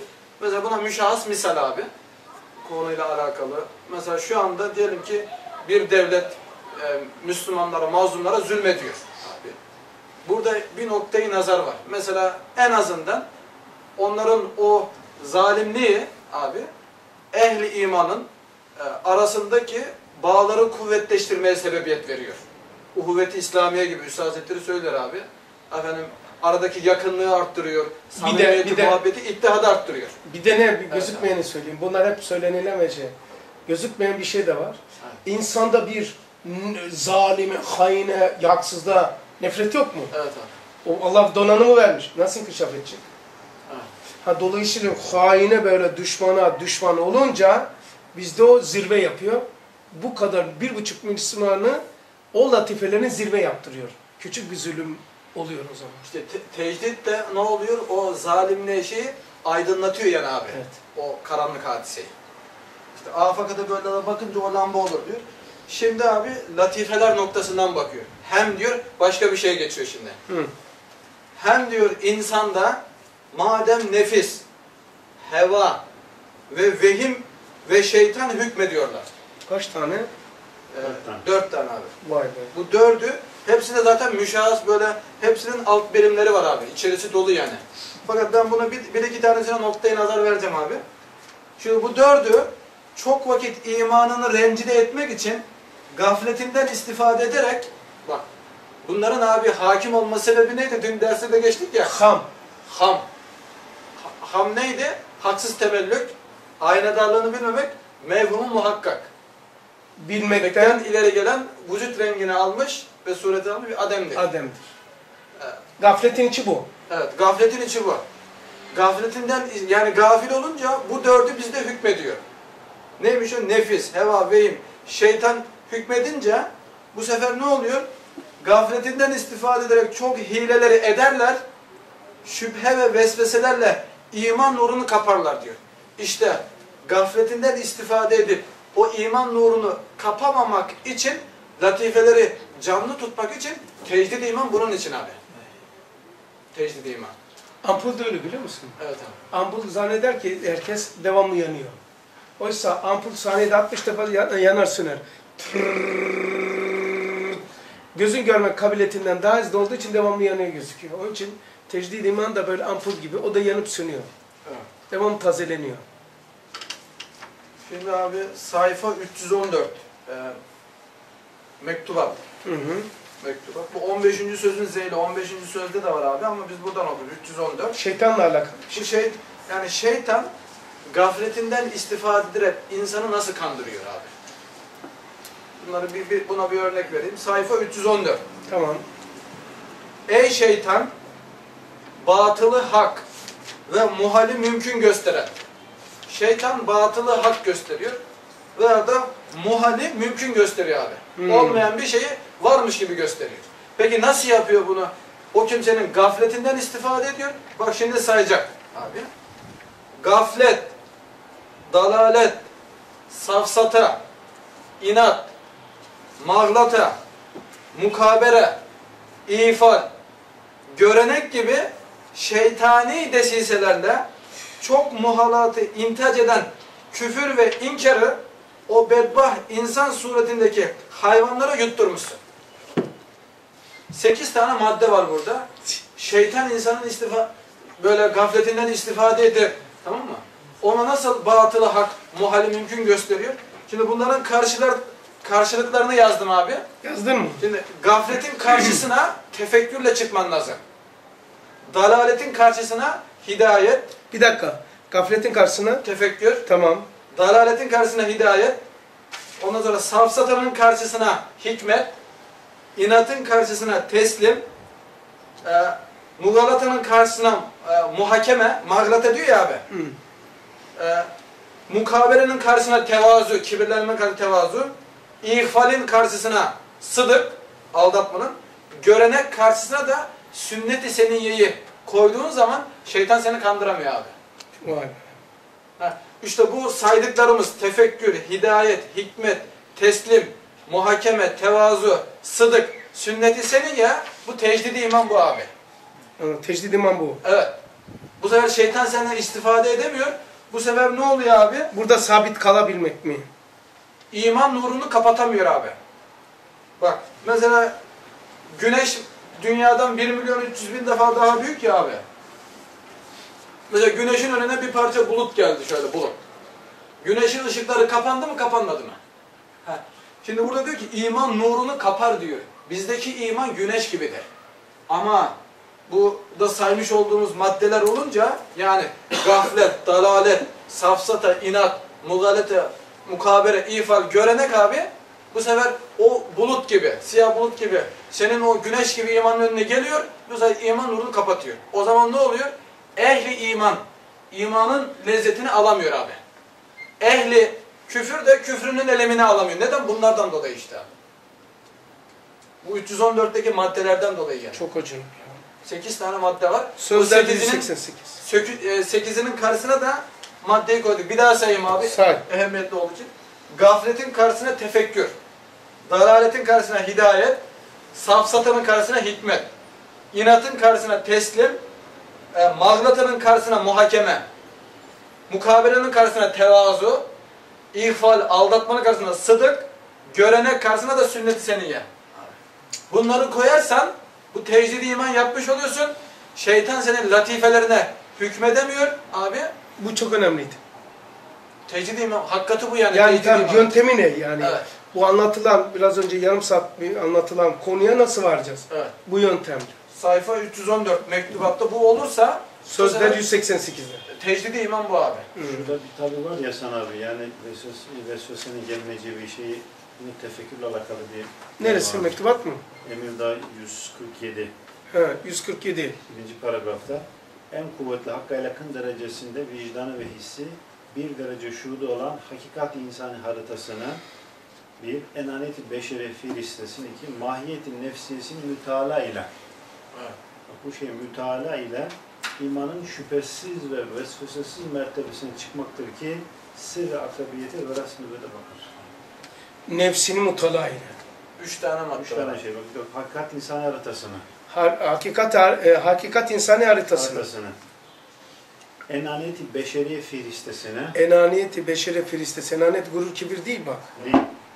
mahiyeti nefsiyesini müteala ile Nefsin, mahiyeti nefsesi, mahiyetini Evet. mutala ile imanın şüphesiz ve vesvesesiz mertebesine çıkmaktır ki sır akrabiyete ve veraset ve şimdi burada ne oldu? Sır akrabiyete zemin oldu. Bu mutala ile beraber senin bir hiçliğin ortaya çıktı. yani bu üçü üçünde terakki etme nispetinde Yani senin bu üçün te- tefekkür etmen adeta seni ne yapıyor? Senin mustakiliyeti nef ediyor. Mustakiliyeti nef ettiği zaman zaten sır akrabiyet inkişaf ediyor. Evet yani sırrı akrebiyetin e, olması için bir şey yapmıyorsun. Şeye benziyor o zaman. Zaten var sır akrabiyet. E, Şey, e, şöyle diyelim evet. Mesela la ilahe illallah yani e, ihlaslı olmak için bir şey yapmana gerek yok. Yok. La riya illa ihlas oradadır. Riyakar olma ihlastadır. Yani Bunlar bunlar fıtri bir haldir diyor mesela. evet tevazu. Mesela şunları yaşa onun adı akribiyettir. Akrabiyet zaten var. Otomatik var. Fakat işte mevhumu ne yapıyoruz? Biz mevhumu hakiki olarak kabul ettiğimizden yani farklı bir nazar bakıyor sadece. Diyor nazar niyet mahiyete şey tayin eder. Hı hı. Niyet ve nazarla iş değişiyor. Yoksa hakikatte bir şey değişmiyor. Evet. Bizim Yani dünyamızda değişiyor. Burada abi e, mesela nefis, heva, vehim, şeytan gafletinden. Yani burada birinci madde gaflet abi. Yani diğerleri demek ki bu da bir zemin yani. Abi, gaflet olmasa olmaz. Mesela bunu anlamak için bir misal vereyim ben de abi daha iyi anlasın. Mesela bir komutan, topçu komutan abi. Ee, askere demiş ki topu ateşle düşman geliyor demiş. Abi. Tamam demiş. Ateşlemiş top patlamamış abi. Demiş ki niye patlamadı oğlum top demiş. Komutanım demiş 40 tane sebebi var. Yapma ya demiş say bakayım. Bir demiş e, barotu koymayı unuttuk. Ha tamam gerilerini sayma demiş. Şimdi bu konuda abi çok şey söylenir. En az 50 tane sebep var ama birinci sebep gaflet abi. O zaman tam gerisi yeter. Ama gafletten musun? Sen En büyük gaflet de gafletten gaflet etmek. İşte bu kafamızı karıştırdı. En büyük gaflet ise gafletten gaflet etmektir. Ke- Herkes kendisine alsın, ben de alayım. Gafleti kendimize yakıştırmıyoruz, bizimle alakası yok diyoruz hep hariç. Ha? Diyor ya Nisan isminin Nisan Evet, Nisan içinde Nisan. Abi bir adama sormuş, bir hocaya sormuşlar gaflet nedir diye. Demiş ben bu soruya cevap veremeyeceğim demiş. Niye demişler cevap veremiyorsun? Demiş ya ben kendimi bildim bileli. Mesela dedim ki 5 yaşında insan kendini bilebilir. 4 yaşında hafız olan var. Hı. Demiş ben kendimi bildim bileli. Hangi mevzuda efendim olay ve hazırda baktığı zaman hep Allah geldi aklıma demiş. Bu soruna cevap veremiyorum demiş. Gafleti adam tanımlayamamış yani. Öyle büyük bir şahsiyet bir şey var. İşte en büyük gaflet, gafletten gaflet etmektir. Abi bir tane maddemiz kaldı. Şimdi vaktimiz biraz geçti. Bitirelim abi. Buna da. Şimdi bu gafleti ortadan kaldırmak için bir başlığımız da buydu abi. Hı hı. Yani tecdidi iman olmasa gaflet insanda hakim oluyor. İman nurunu kapatıyor ya abi. Bunun peki Risale'deki çözümü ne? Saydık 314'teki o maddelerde tefekkürdür, hikmettir, muhakemeli olmaktır, sünnet-i seneyi yaşamaktır abi. Genel manada abi külliyatta üstadın nazara vermiş olduğu abi bir isar hasletidir. Bu da bir tecdidi imandır abi. Sonra e, tefekkürü imani yapmaktır. İki, üçüncüsü de rabıtayı meftir abi. Hani bir daha bu neydi bunlar? Bu- Bunlar neydi? E, gafleti ortadan kaldırmak, tecdidi imanı yerleştirip latifeleri e, efendim hür bırakmak, E, aktif etmek için ne gerekiyormuş? e, e, tefekkürü imani, rabıtayı meft, bir de isar hasleti abi. Nerede bunu anlatıyor? Külliyetin geneli abi. Geneli. Evet, isar hasleti lemalarda geçiyor. Tefekkür imani ihlas risalesinde geçiyor. Rabıtayı meft de sünnet-i seneye bahsinde geçiyor. Çok acayip. İshar hasleti şey zannediliyor biliyor musun? İshar hasletinin malum bir çerçevesi kardeşin tercih etmek. Buradan başlar. Taassubu ortadan kaldıran İshar hasleti. Evet abi. Taassubun en büyük dinamiti, panzeri İshar hasletidir. Çekememezlik hasreti ortadan kaldıran İshar haslet- hasletidir. Bir de Rabıtayı meftasına da en müessir sebep diyor. Yani ihlası kazanmanın bir sebebi demiyor da en müessiri sebep. İhlası kazanmanın en müessir En sebebi müessir. rabıtayı meftir. En müessir. İşte bu da bir tecdidi imandır abi. Ya. Hani Allah'ı sen düşünüyorsun, tefekkür ediyorsun. Yani bu sefer muhakeme ediyorsun. Şimdi bir başlığımız kaldı abi. Onu da şey yapayım. Hem zahiri şerata muhalif düşen ve hatta bazı imamlar nazarında küfür derecesinde tesir eden kelimat ve harekat eksik olmuyor. onun için her vakit, her saat, her gün tecrid imana ihtiyaç vardır. Bu dördüncü başlıkta da abi e, zahiri şerata muhalif, zahiri şerata muhalif düşen kelimat eksik olmuyor. Mesela Tabiat Risalesi'nde insanların ağzından küfrü işmam eden dehşetli kelimeler çıkıyor. Mesela yağmur yağıyor. Bu bir küfürdür, zahiri şeref. Yağmur yağmaz, yağmur yağdırılır abi. Şimdi üstadımız işaret-ül icazda imanın varlığı sualle anlaşılır diyor. O adama soralım. Yağmuru kim yağdırıyor? Allah dediği zaman o kü- söz küfür değildir abi. Çünkü iman sualle bilinir diyor. Mesela Türkçe'de edilgen cümle var abi. Faili yok, öznesi var, faili yok, yüklemi var. Mesela e, gel o geldi. Kim geldi? O geldi. Ki Ahmet geldi. Yani faili zikrediyorsun yani. O zaman zahiri şerata muhalif düşen kelamlar da sorguyla beraber abi onun küfür olup olmadığına intikal edilebilir. Mesela buna başka bir örnek de abi. Doğru bir şey var sana. Allah'ı tebi manada bırakmak vardır. Yani yağmurun ve herhangi bir hadisede doğrudan dolayı Allah'ın tasarrufunu Görmüyor. Sebebi önüne görüyor. Allah ikinci derecede görüyor, intikal ediyor. İşte Üstad abi orada sual sorulması lazım diyor abi. Hatırladınız değil mi Hayır abi? Evet. Mesela bugün hava çok güzel dediğin zaman abi otomatikmen zahiri bu Elfazı Küfür kitabı var ya abi orada geçiyor bu meseleler. Mesela diyor ki bugün hava çok güzel dediğin zaman alimler demiş otomatikmen diğer havaları kötüledin diyor diğer günleri. O zaman tecidi iman yapman lazım. Allah'ın diyor bir yapmış olduğu şeyi diyor ima yoluyla olsa dahi abi ne yaptın? Kötüledim diyor yani. Üstad da bak burada diyor zahiri şerata. Ama ne yapıyor? Usta bir yöntem getirerek sualle an- anlaşılıyor. Evet. Sen bundan bunu mu kastediyorsun? Yok tövbe estağfurullah. imanı olduğunu Evet. gösterir. Mesela bir örnek vereyim. Başka abi. Bizim kendimizden örnek vereyim. Mesela namazın kazası olur. Ee, yemeğin kazası olmaz. Çayın kazası olmaz. Otomatikmen abi namazla alay ifade eder. Bir cümle kullanılırdan dolayı bak buna bir örnek o elfazı küfür kitaplarında var abi. Mesela Dini şeylere dal alay. Mesela molla var abi. Eskiden mollalar vardı ya abi. İki tane molla. Adam bahçeye girmiş mesela. Ötekisi demiş ki bahçede de bir tane manda varmış. Demiş ki mollayı bırak mandaya bak demiş. Veya mandayı bırak mollaya bak. Öteki demiş ki sen böyle dini bir lafza, kisveyle alay eder böyle bir imada bulundun. Senin demiş tecrüdi iman yapman lazım demiş abi. Çok doğru demiş. Namazın kazası olur, çayın kazası, yemeğin kazası olmaz.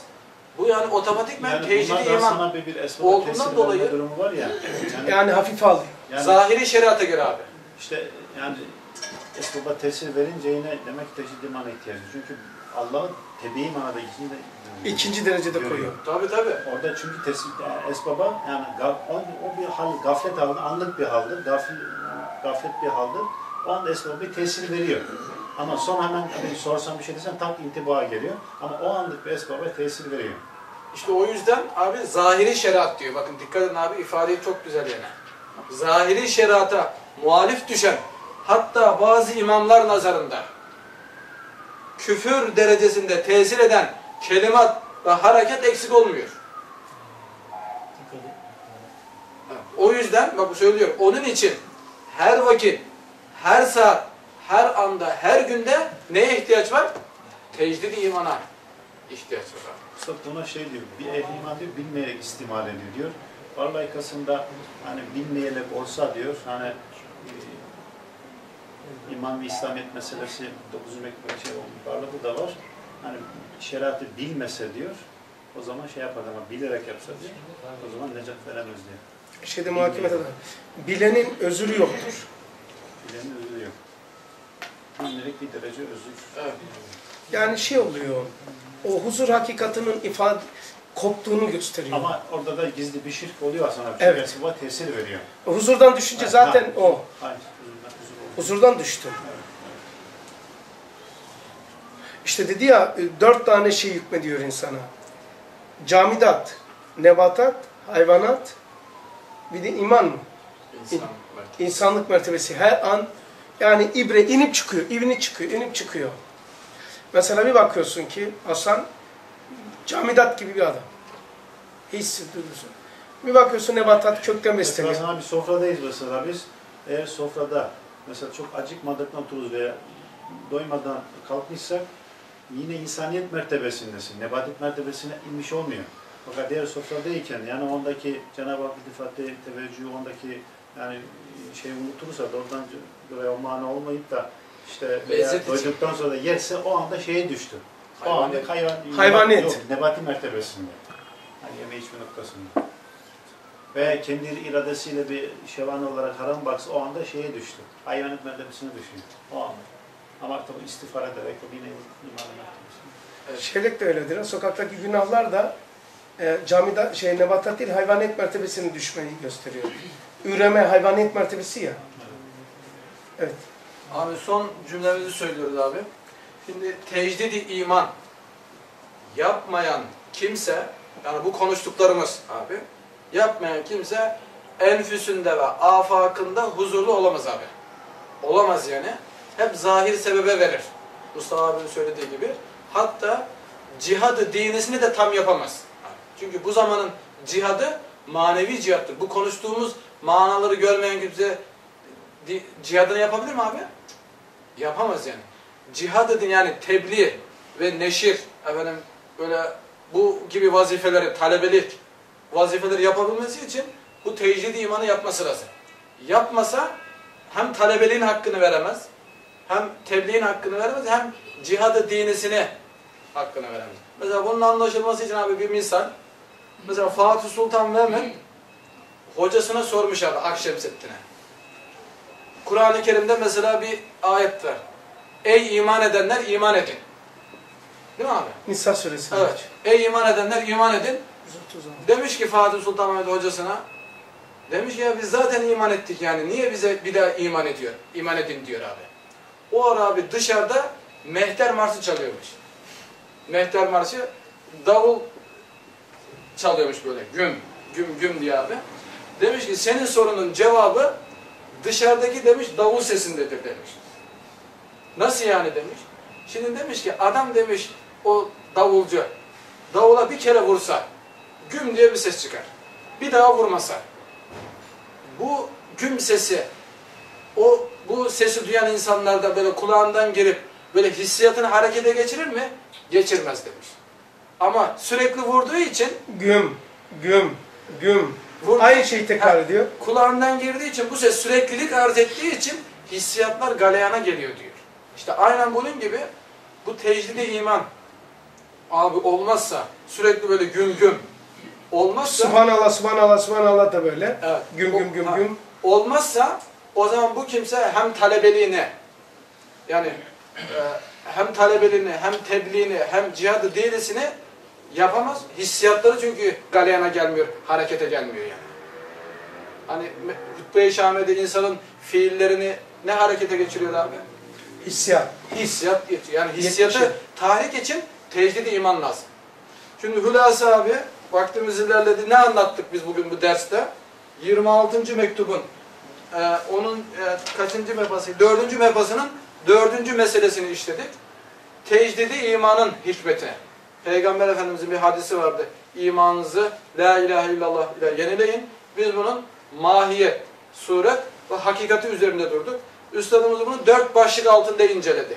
Enfüsi, afaki, bir de insandaki latifeler, birimler, nefis, şeytan, vehim, heves. Bir de zahiri şeriat noktasından baktı meseleye. Meseleyi dört başlık altında inceledi. abi. Bugünkü e, konumuz buydu yani. Tecdidi iman. abi. Soru sormak isteyen sorabilir. Biz kendisini Hasan abi ey iman edin, iman edin, iman edin. Orada hani enfüste afakın imtizacı mı acaba kastediliyor? yani mesela Kur'an'ın ayet şeyi ayetleri olsun, Risale'deki tabir olsun. Huvel evvelu vel ahir ve zahir vel batin. Mutlaka dört isim muvacesine şey yapılıyor. Tamam. Ondan sonra iki, her bir ayet ve hadis diğer ayet ve hadislerle izah ediliyor. Ve ayet ve hadis izah ediliyor. Ee, bunlar muvacesinde. Ya eyyühellezine amenu aminu billah ve bil resulihi ilahir böyle gidiyor. 136. ayet İsa suresinde. Ee, mesela en düşük manada ne anlar? Yani imanını sorgular insan. Ey iman edenler! Allah'a iman edin. Yani bu iman edenler hitaptır. Allah'a iman edin. Yani Allah'ınızda imanda sabit kalın. Hani ikide bir oynuyorsun yani. Mesela biraz önce yaptığımız atalar, bir sürü atalarımız var hepimiz. Yani onları alıyor. Ondan sonra bunun söylediği şey var. Yani insan zahirden hakikate geçirmezse Sonra seninkisi şeyde kal o zaman değil mi? Tabii yani iman. Bir şeyde bir yer okumuştun. İmanın vesvesesiz mertebesi Emir'de 1 147'de. Yani imanın vesvesesiz mertebesine varmadıkça hepsinde şirk mertebesi var. Evet. O zaman her bir şirk mertebesine sırılmak için bir tecdid imana ihtiyaç var. İşte ey iman edenler, eyyellezine amenu, aminu billah yani iman edin tekrar. Tecdid iman anlatıyor o ayet. Tecdid imanı anlatıyor. Hakikate geç. Yani o davul misali verdiği gibi dam dam dam. Yani zahirde bir tekrardır ama batında bir zamana giriyorsun ya ampul gibi dırrrr, yanıp sönüyor. Tekrardır ampul. Tekrarını o kabul etmesen eletin hiçbir şey yanmaz. Bir vurdu bitti. Çünkü elektron elektron öyle akar yani. Sabit bir şey yoktur. Yani ancak sabit şey var. Cenab-ı Hakk'ın esması. E, eşya böyledir yani ama onun hızı önemli. İşte ta oradan tut, ta senin dediğin gibi aminu billah, e, mülk ile melekut, sir, süretle sirayet arasındaki farkı kapatmak. Ondan sonra artık uruç başlıyor. Allah Resulü de her gün aleyhissalatü vesselam her gün 70 defa istiğfar ediyordu. İstiğfar etme günah işmam etmiyor. Yani bir nakıslıktan bir kemal mertebesine. Onun için ulema der ki 70 defa en az inkılap demektir. Yani inkılap aldığı halle daha önceki an aşağıda. O zaman ondan sıyrılmasını gösteriyor. Estağfurullah. İstiğfar yani sıyrılmaktır. İstiğfar eden zaten istim sıyrılıyor demek. Şimdi sana bir istiğfarda hani şey var ya hani Gaffar ismi, Tevvab ismi, çok afuk isimleri var. İsimler evet. O ismi ismi, ismin, ismin ismi azam mertebesine mazhar olması için illa günah işlik istiğfar değil de tam devam günah istiğfar gerekiyor ki o ismin ismi azam mertebesine mazhar olsun. O isimdir yani. E, o isimdir yani. Gaffar ismi nasıl mazhar olacaksın? Evet. Nasıl gözükecek aleminde? Estağfurullah. E peygamber de günah işlemiyor. Hal işte yani. Mesela bir bakıyorsun uyku halidir. Ne bileyim bir hayvanet mertebesidir. Bir de günah demek abi yani mesela e, avami manada avamın bildiği günah var. Mesela ha- hakiki manada abi günah daha önce biz müzakere etmiştik bunu. E, yani istidat ve kabiliyetlerini köreltmek yani. Öyle müzakere etmiştik. Ben e, ta fiziğe indirdim. Bedende negatif, olumsuz enerjinin yumağıdır. Yani seni bloke ediyor. evet. Ee, mesela başıma gelmişti. Onu nasıl izah edeyim? Ee, mesela bir misal vereyim ben size. İnşallah bağışlarsınız beni ama size de örnek olur. Size yaşta yaşlı olduğum için size örnek olması için söyleyeceğim. Ee, günahın fiziksel boyutunu anlatacağım. Onun için örnek olsun diye. Günahı anlatacağım şeyde eee karpuz alıyordum. Karpuz alırken kolu kısa kadın satıyordu. Durduk işte neyse aldık. Yani gözüne ilişti. De demek ki bir daha bakmışız demek ki. Ben iyiydim arabada. Çok hoştum. Araba başkası kullanıyordum. Gayet rahattım, huzurluydum. Çok güzel güzel konuşmalar vardı. Ben bunun hürmetine yemin ederim bu elimi koyuyorum. O bir haram. Haram-ı nazar. Bilmiyordum o olduğunu. E, yani ne olduğunu, bak ne oldu, bana nasıl yansın, günah anlatacağım size. Göğsümde şöyle birkaç dakika sonra ateş başladı. Arabaya koyduk karımız gidiyoruz. Yani sıkılıyorum, bayağı sıkılıyorum yani. Antika şey var. Ondan sonra gittik dershaneye. Ama bayağı sıkıntı var. Yani sıkılıyor. Sonra size inşallah örnek olur. Yani sıkıntının kaynağını da sö- söylemiş oluyorum. Gittim dershanede ona mukaddes yerdeyim sıkılıyorum. Ee, şey yaptım. İkindi kıldım sünneti. Ama hala kor var yani. İçinde müthiş bir kor var. Yanıyor. Ama bunu şöyle sordum. Sünneti kıldım. Ya Rabbi bu korun adı nedir? Yani bunu niye bende halk ettin? Niye ben bu, bu ateş var? Böyle. Allah yani bir size yalan mı söyleyeceğim? Namazda, farz namazında senin o kavun satan, şey karpuz satan kolu çıplak kadına ikinci kez bakmanın şeyidir, fiziksel karşılığıdır. O sıkıntı. Çok duygulanmıştım yani. Sonra bir vesileyle ben bu insanlara nasıl anlatacağım? Günah desek bana süzan edecekler demesek olmaz. Bugün dedim işte. Günahın kesinlikle çekmiş olduğumuz o sıkıntı, kor, ateş, mutlaka yaptığımız hatanın bedensel karşılığıdır. وَاِنَّ الْفُجَّارَ لَفِي جَهِمْ وَاِنَّ الْاَبْرَارَ لَفِي نَعِمْ Yani mutlaka e, ima, e, sevap da öyledir. Mesela yaptığın bir iyilik, evrat okudun, zikir ettin. Ben mesela size müteaddit defa demişim. Kur'an'ı ben Allah affetsin. Allah yazarsa yazar. Onun işi, onun bir karışma. Ben sevap yazsın diye sabah kalkar kalkmaz Kur'an okumuyor. Allah beni affetsin. Ben hayata korkunç bir enerjiyle, aktif bir enerji, pozitif bir enerjiyle ben onun için okuyorum ve zevk alıyorum. Allah da biliyor zevk alıyorum. Sabahın getirmiş olduğu böyle hantallıktan sıyrılıyorum ve aktif oluyorum ve canlı oluyorum. Siz de şahitsiniz zaten. İlk Kur'an okuyorum. Ama Allah yazarsa yazar. Ha, ne yapar? Kur'an okurken ilim, irade, kudret. Üç tane sıfat çıkıyor. Bende canlılık, enerji oluyor. Günah da böyledir. Onun için sıkılıyorum. Başım ağrıyor. Kulağım çınlıyor. Tansiyonum arttı. Sebebini başka yerde arama. İşlediğin, karpuz alırken işlediğin günahtır. Bu e, muaccelidir, peşin. Haber veriyor. Ahirette bunun bedelini göreceksin. Eğer istiğfarla imha edilmezse ve farzda, farzda da estağfurullah Rum dedi. Ondan sonra onu hedefleyip estağfurullah dedim. Onu bildim. Bilirsen ama. Bilmesen olmuyor. Bir de onun şahit oldum. Yani şu istiğfarım şu için. Zarfın üzerine adres yazdım. Ya Rabbi estağfurullah şu fiilime, şu fiilime estağfurullah diye diye diye ateşin yok olduğunu, bunun üzerine elimi koyarak yemin ederim. Vücudumda ateşin yok olduğunu gördüm. Bu da tövbenin kabul olduğunu gösteriyor. Çünkü enerjim gitti. Yani kesinlikle hemen peşin günahlar yazıyor. Ya bir lastik patlaması olarak gözükecek sana. Ya ateş basacak. Ama en belirgin yani göğüste yaşayanlar, kalbiyle yaşayanların göğsüne ateş basar. Dünya perest olanlar, aklı şey yapanlar akıllarına baş ağrısı girer. Onun Risale'den süsleyeyim. 196 lemalarda semli nazar, semli demek karşıdakinin zehir saçan nazarın içeriye aldın, içeride yapılandırdın. Yani zehirli nazar diyor. Tesettür Risalesi'nde geçiyor. Semli nazarlar diyor. Yani seni zehirleyen nazar.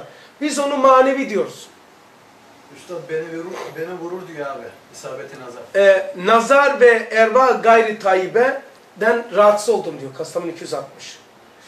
Ee, 2, 330 veya 324 şualarda nazar beni vurur.